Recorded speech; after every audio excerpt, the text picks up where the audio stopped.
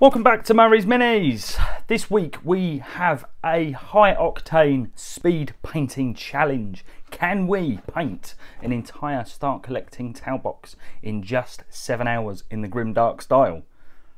Y- yes, because the video says so. Um, False Peril is an incredibly contrived narrative device.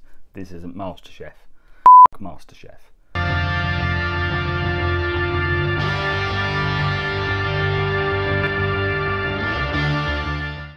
So to achieve this speed painting technique, we're going to be using a lot of zenithal highlights with inks. We're going to be using a lot of contrast colors and we're going to be using oil washes, lots and lots of oil washes. So when you look at the way Games Workshop portrays the Tau in all of their artwork, they're very clean, very clean lines, they look very pristine, a little bit of weathering, but that is completely contrary to my style. I love my models to look gritty, grimed up, bashed up, and whenever I see Tau models uh, on like the GW site, they just they don't look nice to me. I like all of my models to look like they lived through 2020. Now, in spite of this being a grimdark speed painting tutorial, I wanted to create a good finish, something that you could have on display quite happily, but something that would be really impressive on the gaming table as well. Just because we're painting these fast doesn't mean we necessarily need to compromise a lot on the paint quality. So to get started, we go for a mix of black and blue Molotow ink. This stuff's really good. I use it for all of my undercoats, but in this case I went for a very, very dark blue colour as our base colour because I wanted it to be the base of the white to give it a bluish tint and it's also the complementary colour to all of our orange accents that will mean that we'll get some really nice dark colours. So our first zenithal light will be a neutral grey. This will just establish our first highlights. We're going to really plaster the zenithal highlights on because I wanted quite a bright white which then we could tone down with oils rather than having to build up white. I always find it's best to establish your highest, brightest values first and then take them down rather than having to add to them, especially if you're going to do a grimdark style of painting. Trying to get a bright white after the fact is a lot more difficult than just establishing it in your first couple of passes. So now we're going to be moving to titanium white. This will just be the top the zenithal. Probably take it from a little bit more than just a top angle, but just build it up gently. With inks, you need to be spraying on quite high pressure just to get it to dry. That way it won't spider web on you and you end up with all of those horrible, horrible marks. Let's face it, when painting in this style, all of the horrible marks we want to be putting on on purpose, not by accident, because you can cover up a lot of your bad painting with the grimdark style of painting, but that's not what we're going for. We're just basing in our values, we're getting the highest lights in there, but we're getting that definition already between our darks and our high tones. So that way we can see where we're going to want to add in the colours and the tones with the contrast paints and with the oils. See, this uh, technique is essential. You need oil paints so much better. At this point, this took me about an hour and 15 minutes, which isn't too bad. So my first sort of accent colour was going to be Gryph-hound Orange. When using contrasts over inks for zenithal highlights, it's best to really, really water these down. We don't want to use them the way they were marketed as a one coat paint. That's not what we're doing here. We are just tinting those colours to get a nice consistent colour. We don't want it to pull in the recesses. We don't want to be getting little coffee stains over it.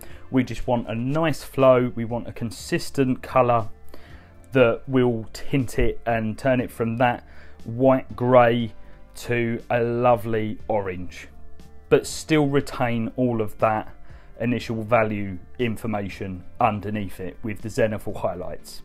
You can see here I'm, I'm plastering it on but because it's so well watered down and so diluted, it really will just flow over it and it will retain all of that information. But if you use it, it at a much thicker consistency, you're gonna get those horrible marks, those you know coffee stains, and it's just not gonna look right. Make sure you thin down any of your contrast colours at this stage.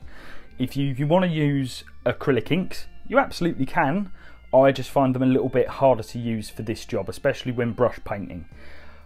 And for this sort of finicky work, you could use your airbrush, but to be honest, the amount of time you'd have to spend masking it, cutting up masking tape, you might as well just brush paint it because this stage didn't actually take all that long. It probably took about 20 minutes to get all of these orange accent colours down.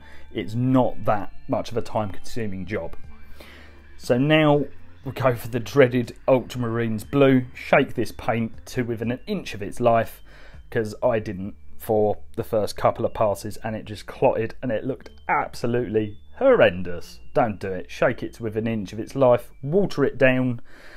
Most of the contrast paints, if you're going to be using in uh, this style, you need to really, really water them down. I made a big error with the ethereal model. I didn't water it down as much as I should have done, and it really clumped in a couple of places, and it took a little bit of work to correct it. It still doesn't look how I would have preferred it to, but once again, this is a speed painting tutorial. This isn't about getting everything 100% pristine, it's just about doing a half decent job, moving on, getting your models painted and getting them on the table. So I'm just nearly at the two hour mark for those accent colours. Now we're going to be going in with Basilicanum and Grey. These are going to be for all of the pouches, the cloth, um, all of the other sort of accent colours. On the battle suits, there is a lot of this colour on them and on the warriors as well. Basically, anything that's either cloth or mechanical that isn't white that this is what I used on it. So for the accent colours on just the symbols and a few bits and bobs, I just chose a brassy goldy colour. This was very, very watered down. In hindsight, I did it on a few parts, but not all of them. Uh, I tinted them with orange first, and that really, really helped. Now we're moving on to the oil washes, which is my favourite stage for anything. Plastering stuff in oil colour and then just wiping it away. You can see that I've used a lot, a lot of makeup sponges. These are really, really good for getting a lot of this colour off. Um, and they're absolutely essential. You can use cotton buds, but if you're going for like an all over wash like this and you're going to be wanting, wanting to take the majority of it off, these are the tools to use. You can pick them up for relatively cheap I got my wife to go get me these from a pound shop, and they were like a quid for about 30 of them. But I'd always say go back in with your Q-tips as well. Get a little bit of white spirit on them and just take off the excess. So there were a lot of washes, so we're about four hour stage now.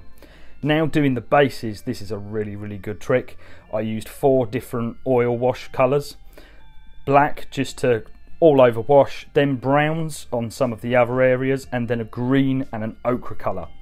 If you watch Luke's APS, he does a similar technique using just watered down acrylics on plaster rocks. None of these were plaster rocks, but if you use um, heavily diluted oil paints, while they're all wet, they will blend together and you have a fantastic result that looks really realistic, really good. So at this stage, I decided I wanted to dirty and darken them up. I probably could have saved myself the effort of this step if the blue wash I did was dark enough, but I chose a very, very rich saturated blue that was quite bright.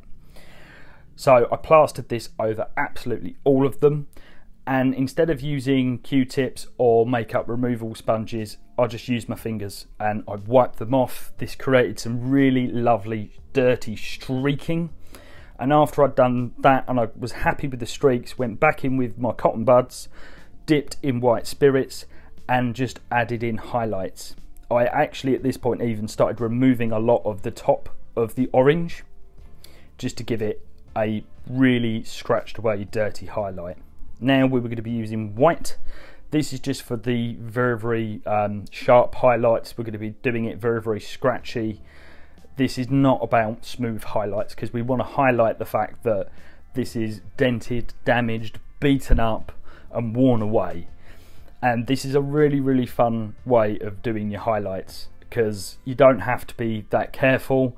You can just really sort of blot stuff in there. It's a really freeing way to do your highlights because you're not trying to get perfect little lines. You're just doing lots of cross hatching, lots of dings, dents, and it's a really fun way to do it. It's really freeing, quite relaxing, not as stressful as trying to do your traditional um, edge highlighting. It's a lot of fun. I really, really enjoyed enjoyed doing it. But this probably took the longest time, and at this point, I realised that I'd closed down the stopwatch in my iPhone and completely lost the timer. But I spent about an hour and a half on this step on all of the models. I wasn't that careful. I didn't want it to be completely perfect. This was just about getting them, you know, better than battle ready and just getting them finished. But it's such a freeing technique to use, it's a lot of fun. You can really see now on some of the models where I've used the white spirit and the cotton buds to really damage the corners of a lot of the orange accents and that really gives off some really nice quick and dirty weathering don't be that afraid to try this. I know there's the natural fear of completely destroying what you've got, but I used a fair bit of satin varnish on the models after the zenithal highlight.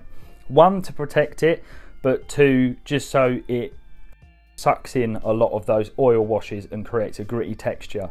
Not as gritty as if we were to use a matte varnish, but still gritty enough just to give it a little bit of tone and depth. But there's nothing wrong with using white spirit and your Q-tips to damage up and create some extra detail and visual interest. It's a really, really fun technique. You probably will rub away some of your base layers at some point, but the more practice you get doing it, the more confident you will be doing it. And it's really fun. You have to try it. Really worth it. There you go guys, so that's how you can speed paint an entire start collecting box in the grimdark style, but with a little bit of colour to it, just to give it that little bit of punch and visual interest. We still have our monthly miniature giveaway for all of our Patreon supporters. We're still giving away an Imperial Fist Praetor, so don't forget to like, comment, and subscribe. And if you're feeling very generous and you want to get your hands on that Imperial Fist Praetor, then support the channel on Patreon. Thank you very much, guys. Next time I see you, I will be painting Argel Tal, who just arrived in the post. Cannot wait. I'll catch you on the next one.